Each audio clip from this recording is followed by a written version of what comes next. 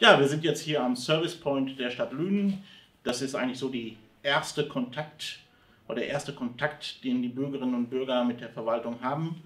Es hat sich natürlich einiges geändert. Der freie Zugang ins Rathaus ist natürlich nicht mehr so möglich, wie es noch vor einigen Wochen der Fall gewesen ist.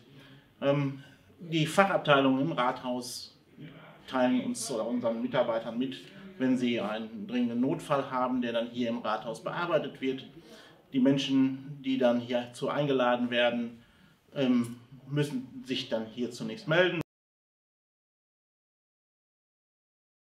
müssen ihre Hände desinfizieren, bekommen von meinen Mitarbeiterinnen und Mitarbeitern einen Mundschutz ausgehändigt, den sie anlegen müssen und den sie auch während des Besuchs im Rathaus nicht ablegen dürfen.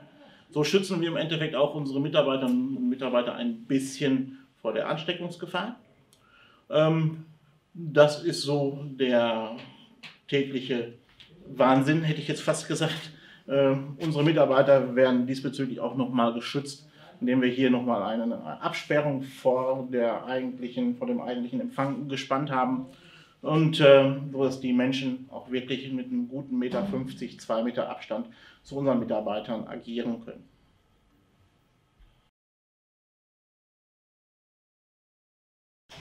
Auch für diesen Bereich haben wir natürlich äh, einen Mehrschichtbetrieb eingerichtet.